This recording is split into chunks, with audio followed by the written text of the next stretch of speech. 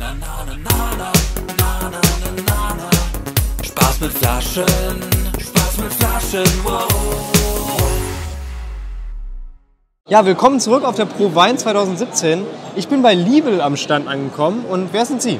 Also mein Name ist Gerhard Liebel, bin jetzt hier Geschäftsführer und Brennmeister und immer zuständig für die Produktion jetzt hier unserer Edelbrände, Gin, Whisky und Rumsorten, die wir seit vielen Jahren im Bayerischen Wald herstellen. Ah, perfekt. Ich habe auch schon gesehen, ich meine, allein das Rondell hier macht schon viel her. Die ganze Reihe da hinten Whiskys in ganz vielen verschiedenen Fasslagerungen. Sie haben ja wirklich eine große Produktpalette. Ähm, was zeichnet Sie aus? Also zum einen äh, sind wir natürlich eine, eine Destillerie, die sehr experimentierfreudig ist und speziell auch vom Portfolio jetzt nicht nur die Brände herstellt, die man heute dann von klassischen Obstbrennereien kennt, Apfel, Birne, Zwetschge, Kirsche, sondern darüber Okay. hinaus ein sehr, sehr breites Portfolio äh, an ausgefallenen Raritäten, Vogelbeere, Weißdorn, Mahonie, äh, verschiedene Obstbrände, auch immer Holzfass gelagert, Kastanie, Kirschholzfass. Ne, genauso produzieren wir jetzt seit äh, über elf Jahren bald unseren bayerischen Single Malt Whisky, also bestes, beste bayerische Braugerste, die wir eben nach klassischen Rau- und Feinbrand-Brennverfahren jetzt hier zu New Make destillieren und äh, eine Lagerung. Wir verwenden sehr, sehr viele verschiedene Holzfassarten, klassisch Port, Sherry, aber auch Bordeaux, die Weißeiche, ehemalige äh, Whiskyfässer zum Beispiel genauso, wie eben auch Rotweinfässer oder auch mal ein schönes Sauternfass. Ja, das klingt ja schon mal sehr interessant. Ähm, ich denke, auch diese Ausgießer machen auch schon mal extrem viel her. Das sind wahrscheinlich auch Ihre eigenen, ne?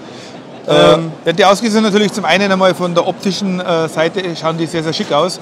Äh, zum zweiten ist natürlich aber auch einmal für den äh, Gastronom natürlich einmal von Vorteil, weil er natürlich auch am Tisch jetzt äh, schön einschenken kann und jetzt hier mit dieser kleinen Kugel, ne, wenn man jetzt dann äh, die jetzt hier voll macht, hat man jetzt in dem Fall mal zum Verkosten genau 0,01. Natürlich gibt es für den Gastronom auch die doppelte Größe, damit man genau ein Gläschen einschenkt. Klar. Man kann es am Tisch machen, schaut einfach edel aus ne, und äh, denke ich macht auch Appetit.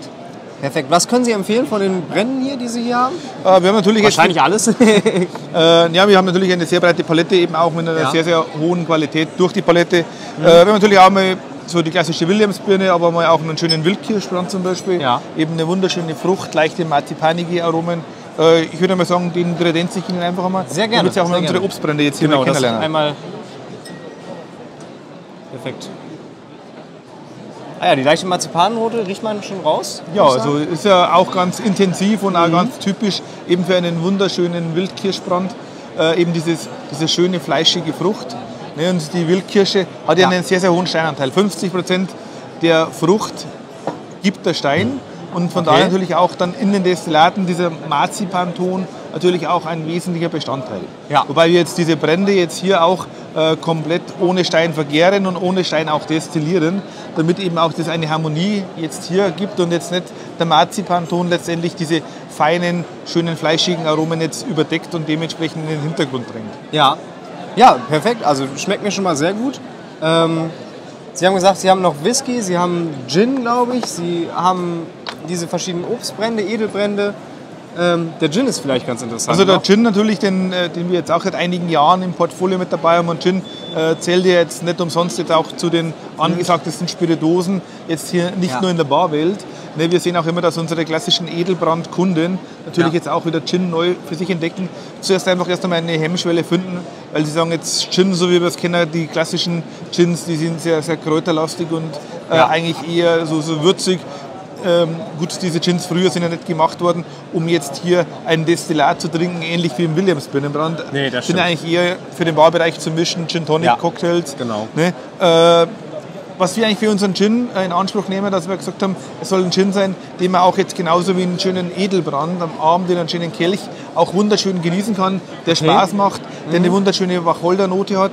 Darüber hinaus natürlich aber auch die typischen Botanicals jetzt hier dann Ja. äh, sehr, sehr harmonisch wiedergeben, wie Lavendel, wie Koriander zum Beispiel. Mhm. Äh, wir haben einige Früchte aus unserer Heimat, wie die Preiselbeere, wie die Schlee. Okay. Aber auch was äh, uns oder was die Kunden auch sehr, sehr gerne in unseren Gin finden, sind auch so diese schönen feinen Zitrusnoten. Das heißt, wir verarbeiten da frische biologische Zitronen und äh, biologische Blutorangen, die wir jetzt immer ganz frisch zum Beispiel jetzt hier aus Sizilien jetzt von unseren Bio-Obstbauern bekommen.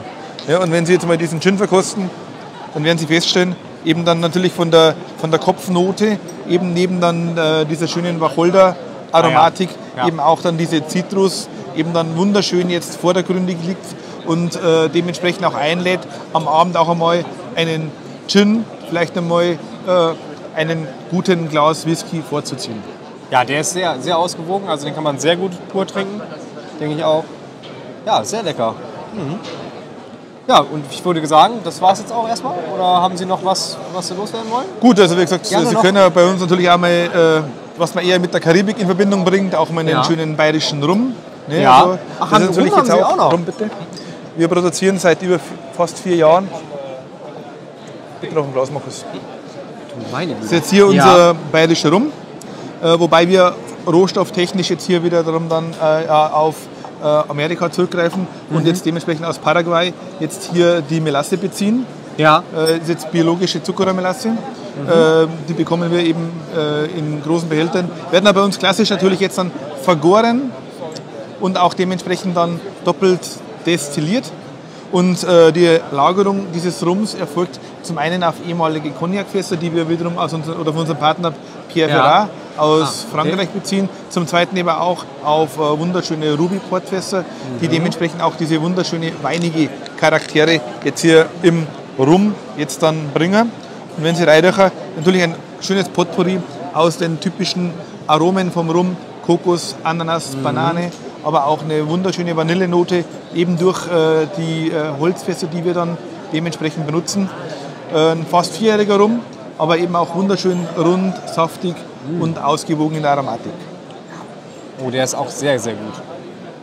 Also da kann man schon sagen, ich denke mal, Portfolio, sie sind sehr breit aufgestellt und äh, durchaus interessante Produkte dabei. Ähm, Finde ich wirklich interessant. Also da sollte man genauer drauf gucken, was hier alles so an diesem Stand zu finden ist. Und ich denke, ja, informiert euch weiter, was, was es hier alles so gibt. Und ähm, klasse. Also mir gefallen bislang alle Sachen, die ich hier getrunken habe, waren sehr gut. Muss ich mal einmal so durch die Bank einfach Das freut uns. Wie gesagt, Ja. auch Ihre Hörer und äh, eure Kunden sind natürlich auch immer bei uns am Stand herzlich willkommen.